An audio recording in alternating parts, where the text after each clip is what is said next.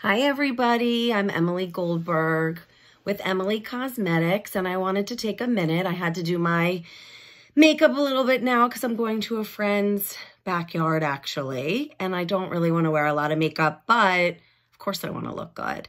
Um, I put my tinted moisturizer all over and gave myself just like a little bit of bronzer.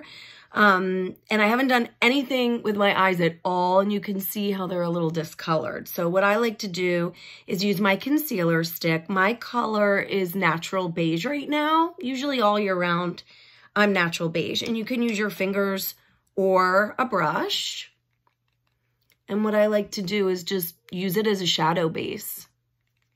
And you'll see how quickly it really just covers up any darkness and it's just so creamy and easy to use.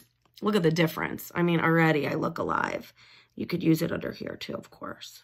And you can use your fingers if that's better for you, by all means. Oh, I forgot my selfie light. Look at that. So I'm excited to share. I have these LED selfie lights that are amazing that I'm selling for $15. And you can see what a difference it makes. Just clips on your phone. It's really cool. I'll do a video about that.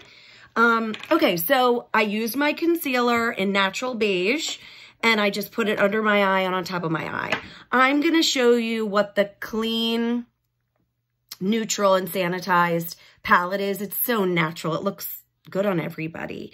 Um, so first I'm going to take the lighter color here and what I'm going to do, I love the Trish McEvoy brushes, but any flat kind of a sable brush will do. Just kind of go in there. And what you're going to do is just press it all across the lid. That's it.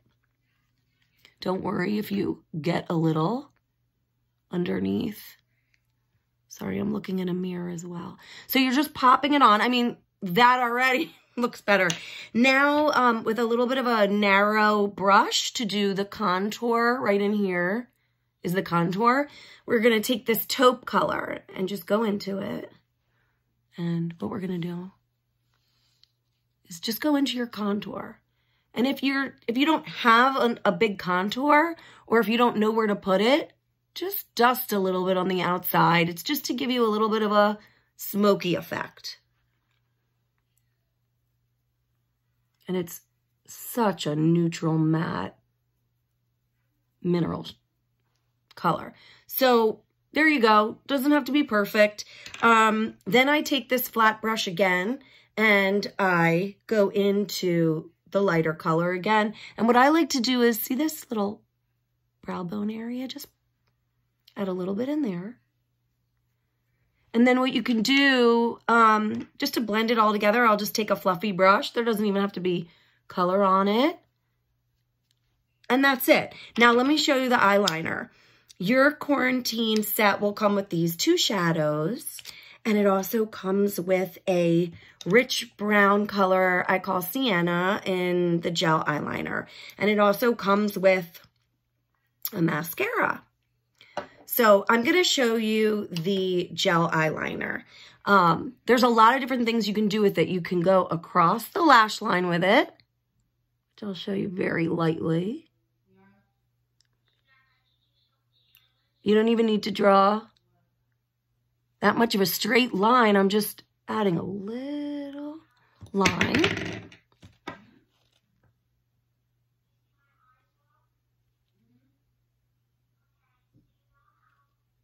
Okay, so I'm doing this. You can smudge it if you want. I mean, if you like a smoky look, you can smudge it.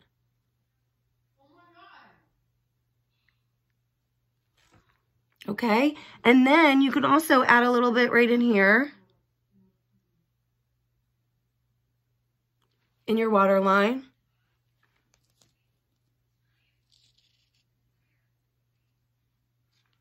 I mean, it's just so fun. There's also a water line up here.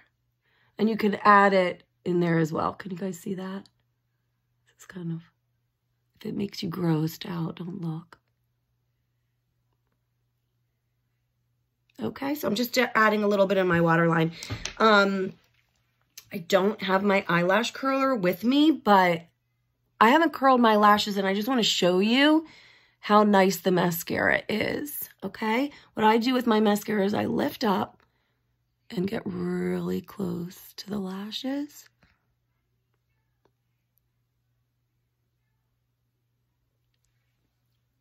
And look how pretty that is. I love it. Now, sometimes the mascara gets a little bit clumpy. That's when you know it's sort of drying out. And sometimes I'll wipe it with um, just like a makeup wipe or something if the brush gets messed up. Um, there's a lot of mascara in there. So when you're opening and closing it, it could get a little bit around the edges and I just take a baby wipe and just clean it. Um, but that's, that's the quick look of the clean, natural, and sanitized Quarantine Eyes palette I wanted to show you. Um, there, the add-ons that I did was the concealer, which you could use as a shadow base. The other thing you could add on is my felt tip eyeliner, which I'll do a tutorial about that later, but it's basically like a Sharpie marker, and I like to do it on the top to make it a little more dramatic, which is fun. And um, the other thing I wanted to show you that you can add on are my new brow inks, which I'm so excited about. You can see I have a little bit of a bald spot. Sometimes I color it in with my brow pencil, but these brow inks are amazing. And this is in light, uh, excuse me, soft taupe. So it has a very narrow brush, you can see, and literally I'm just brushing through it. And you can see how the color goes on and it keeps your brow hairs in place. Look how much better it looks. To the other side. And if you want a more dramatic uh, uh, eyebrow, you definitely could color it in first with my brow pencils, which I have on my Emily Cosmetics site. And I can bring them over to the new site too. But anyway, I just wanted you to see how quickly you can do this look and how quickly I can fill in my brows. And now I could wear my mask and go out. I wanted to, if I had it, I'd put it on. But anyway, I just wanted to show you the look. I hope you guys like it. It's super easy and I'll be doing these videos and showing you lots of little tricks and tips along the way. So follow me at Emily Cosmetics LLC on Instagram and Facebook and check out my website, quarantineeyes.com. Thanks, guys. Have a good night.